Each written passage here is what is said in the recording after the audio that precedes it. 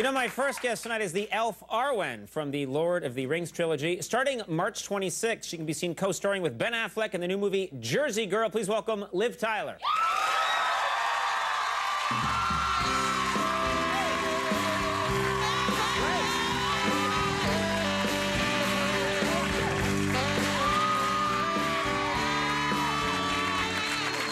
Some cool pants. I'm actually having trouser situation.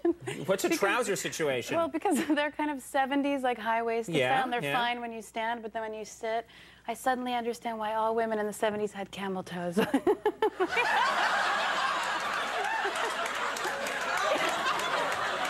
laugh at my joke.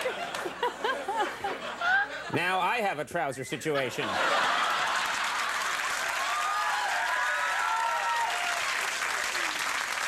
Wow! That's going in our 15th anniversary show, I think. My personal reel that I watch over and over. so, how are you? I'm good, thank you. Let's you. begin our professional interview. Were you planning to say that? I just you No, just thought. no, it just was such an issue, and you brought it up, so I thought I'd yes, bring it I just said nice pants, and I guess I had. Next thing you know, we're in Camel Toe Alley. All right. Thank you. All right. Charlie Rose, this is not. I'll tell you that much right now.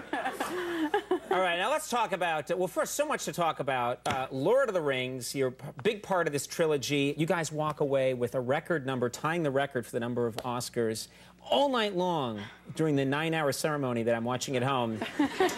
Lord of the Rings, Lord of the Rings, Lord of the Rings. Was there a point where you just got embarrassed? Like, we're eating all the hot dogs at the picnic, you know? Like, it's. It's too much. Do you know what I mean? Like, you're just like, oh, please, someone else win, because it's going to be too embarrassing if we win a 15th or 19th or 35th Oscar.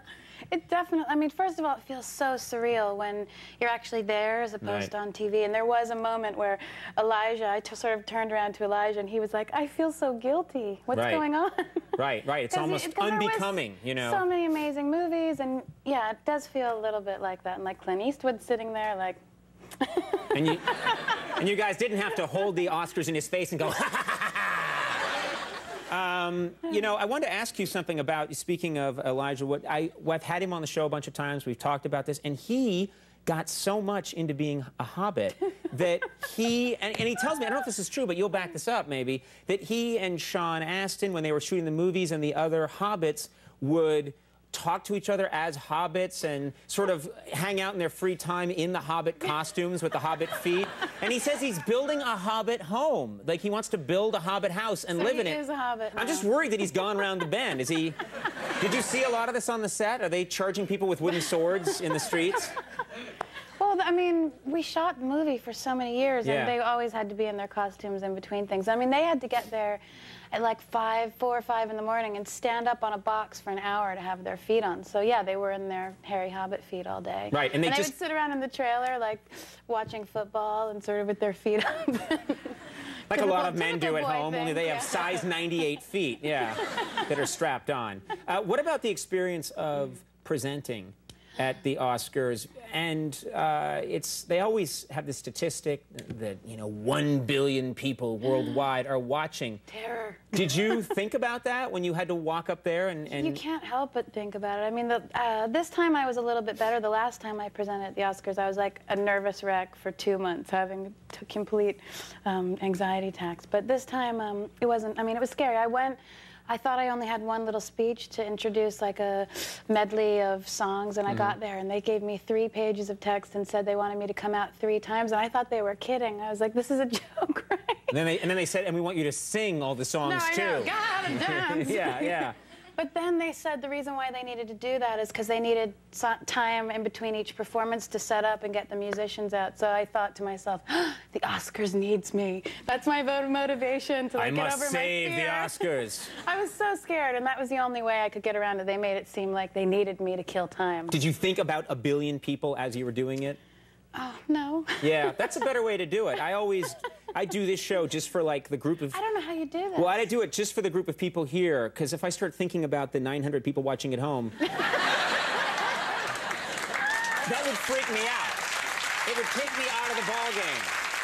I watch you all the time. I know, I know. We do so well, and I kid. Self-deprecating, that's my name. Uh, I'm an ass. Uh, now, let's talk about Jersey Girl. Uh, this is a movie that you did with Ben Affleck, and Kevin Smith directed and Kevin Smith directed it, and Ben Affleck's your your love interest Yeah. in the film, and you had a lot of sort of passionate scenes in one section. I don't want to give away too much, but Not this in is this movie as much as Armageddon, but we had some hot and heavy moments and you guys and you guys in that movie, uh, you guys uh, had to kiss a lot, didn't you? Yes, in all sorts of strange places. I was remember looking online the other day at some photos of us like making out in a puddle and on an oil rig and in the turbo booster of the shuttle. You went like, online to watch yourself making out with Ben Affleck in Armageddon. That's such a strange. No, I just was trying to remember. Did your boyfriend so walk in at some point? You're like, oh, it's a screensaver. Uh. No. It just you were looking for reference. I was just trying to remember. It was so long ago that time, and so Right. I just checked it out. Right. do, you, do that? I mean, if you go online and looked yourself up, there'd be so many. You can't get into that, right? You can't. Sometimes it's fun to look at pictures and stuff, but it's yeah, it does make you slightly neurotic and insecure because everybody's critiquing all sorts of silly things. But Right, right. Better, better not even to think about it. Yeah. Let's talk about the premise for the movie because we're going to show a clip. okay. What do people need to, to know? Well, um, well, basically, Ben gets married. He, they have a baby. The wife dies in childbirth, and then he's forced. He moves back. He loses his job and moves back in with his father, George Carlin, in New Jersey.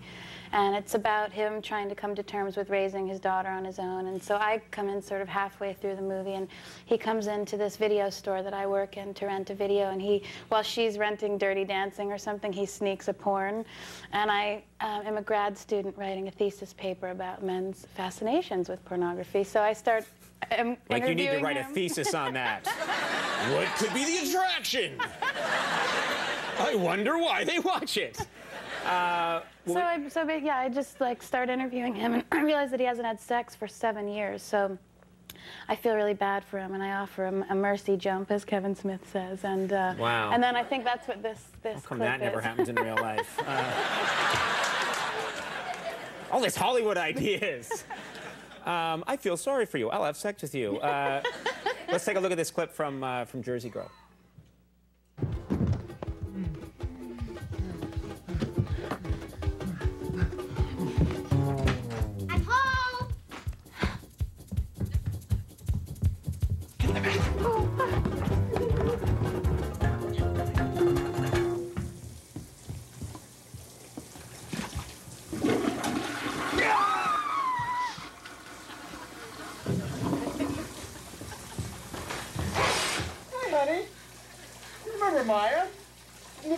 The. Okay. Now.